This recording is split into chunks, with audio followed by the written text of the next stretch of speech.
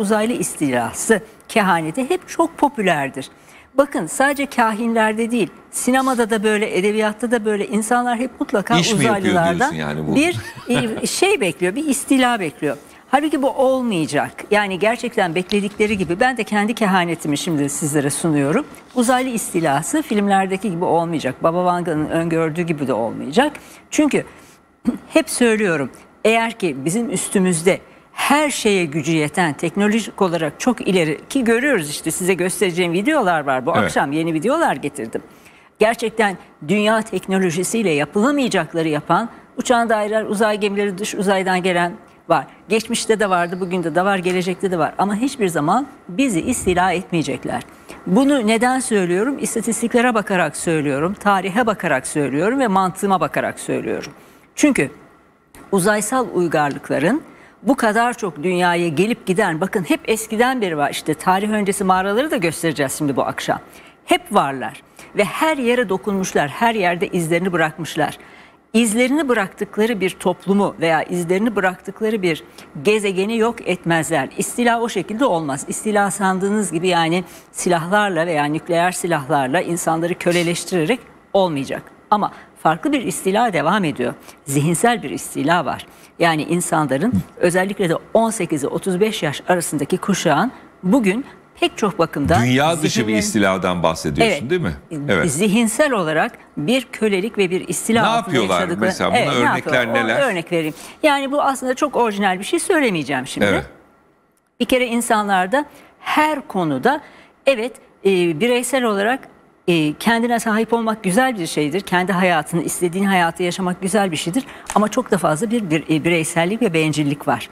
Bunu 18 ile 35 yaş arasında çok sık görüyorum. Yoğun bir şekilde görüyorum. Yani kendi özgürlüğünü sağlarken başkalarının haklarını çiğnemek. Bunu çok yakinen yaşadım ben. Özellikle de öğretmen olduğum için çünkü bunu gözlemleyebiliyorum. Toplum içinde de böyle. İkincisi e, iki uç var bakınız. Ya metafizik konularda aşırı ileriye gitmek ve hayatın sadece metafizikten ibaret olduğunu düşünerek o çerçeve içinde yaşayan bir grup var. Bir de tamamen işte uzaylı yoktur, ruh yoktur, spiritüalizm yoktur. Tam Biz zaten diyorsun. burada işte yaşadık, öldük, toprağa gideceğiz ve ondan sonra yani ikisinin ortası yok. Halbuki çok da ilginç bir şekilde bugünün imkanlarıyla metafizik bilgiler veya spiritüel bilgiler insanları aydınlatmaya götürmesi lazım değil mi? Tam tersine bir ruhsal beyinsel körlük yaratıyor. Bunu Şimdi görüyorum. uzaylılarla ilgisi Uzaylılarla veyahut da ilgisi. dünya Ha, dışı zeki varlıklarla ne ilgisi, ilgisi var? Şimdi mesela bir grup var maalesef yani genel olarak dünyasal Evet. olarak söylüyorum. Zannediyorlar ki uzaylılar gelip bizi kurtaracaklar. Evet. Uzay ama neden kurtaracaklar? Peki kurtarsın neden kurtaracaklar? Bunun cevabı henüz verilemedi. Bir grup da diyor ki hayır uzaylılar gelip bizi istila edecekler. Şimdi aynı şey bakın. Bir grup uzaylıları melekler olarak kabul ediyor ki bu doğru değil böyle bir şey yok. Tamam. Öbür grupta onlar bizi köleleştirecek işte istila edecekler. İkisi de olmayacak. Ne olacak? Ay hiçbir şey olmayacak. Hep böyle yaşayacağız bence. He. Yani herhangi büyük bir değişiklik Yani beklemiyorum bir ben. e, temas söz konusu olmayacak mı? Ee, bizim Yani Baba Vanga'nın da E, hani e, ne kadar kale Ya, alırsa ben yalnızca San e, işte dergisinin Evet, gazetesinin gazetesinin. haberini Evet. yayınladım. e, 21. yüzyılda olabileceğini sanmıyorum. Çünkü neden? Yaklaşık 50 seneden beri hep o beklenen temasa çok az kaldığı söylenir. Benim en büyük sıkıntım da bu. Bakın insanlar maalesef uzaysal uygarlıklar, UFO'lar konusunda kandırılmaya çok yatkınlar. Kendi kendilerini de kandırmayı Peki bir seviyorlar. üst akıl Evet. bunu kullanabilir mi mesela? E, üst Değil mi? ama üst akılın da Yani, yani dünyadaki bir üst akıldan hayır, bahsediyorum. E, Şöyle e, şimdi Çok güzel ki bir, senaryo- enstrüman değil mi elimizde yani? Bak uzaylılar Ama- geldi dünyaya Peki ama saldırıyor filan. Uzaysal uygarlıklarda yani boş oturup beklemeyeceklerdir herhalde. Kendilerini böyle Yani bir senin manipülasyona iddian şunun üzerine kimse böyle bir şey kullanamaz. kullanım Çünkü gücü yetmez. Çünkü Gücü diyorsun tabii. yani dünya dışı varlıklar dünyanın dünyada ne olduğunu zaten biliyorlar. E zaten şey Dolayısıyla insanları etmezler. da e, bir şekilde manipüle ediyorlar. Bilhassa duygusal olarak.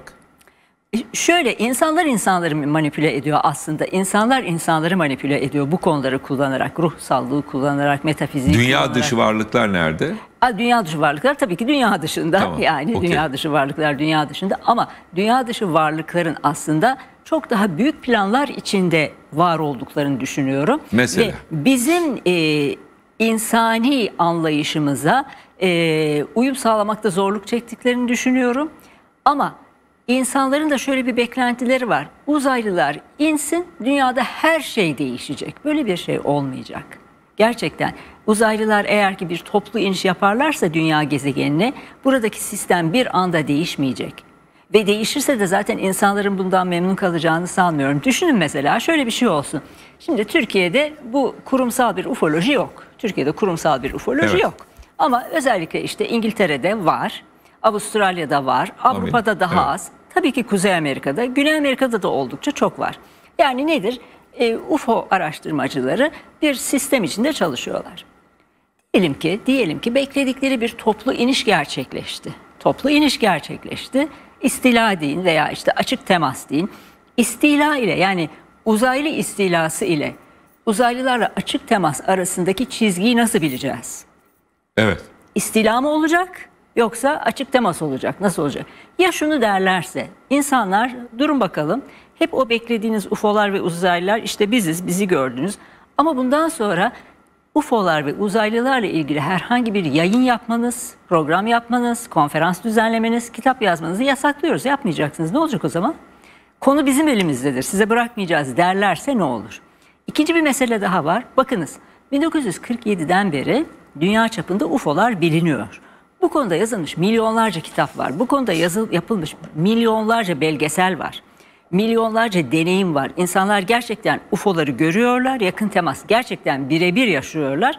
Ve gerçekten de uzaylılar tarafından kaçırılıyorlar. Bunlar kanıtlanmış şeyler. Ama bunca zaman içinde 1947'den 2022'ye kadar geçen süre içinde insanlar UFO'larla bu kadar fazla uğraşırken ve bu kadar yakın karşılaşma yaşanırken, kitaplar yazılırken bakın işte oturduk UFO konuşuyoruz şimdi. Uzaylıların, uzaysal uygarlıkların, galaksiler arası uygarlıkların bu kadar sessiz kalması normal bir şey mi? Bence değil. E, şöyle normal olabilir belki. Yani şimdi biz insan gözüyle baktığımız zaman normal değil diyebiliriz. tabii. Ama burası bir laboratuvar ola- olursa Bakalım laboratuvar yani dedikleri şimdi nereye bunlar kadar yalnızca şey hani e, bir iddia da bulunuyoruz. Tabii, tabii, yani iddia. laboratuvar olursa Varsa, burası. evet. Yani bilmiyoruz. Simülasyon evreni olursa ne olacağını bilmiyoruz. Evet. Vesaire vesaire. Evet. Simülasyon evreni olduğumuza inanmıyorum ama laboratuvar olma ihtimali var. Evet o zaman hani evet, laboratuvar olma tabii, ihtimali var. yani siz Ama bu labora- laboratuvar da yani 10 bin seneden beri laboratuvar çalışmaları devam ediyor. 11 bin seneden Evet. beri. Ee, bu çalışmalarda insanların kazanımı nedir? Bunu düşünmek lazım.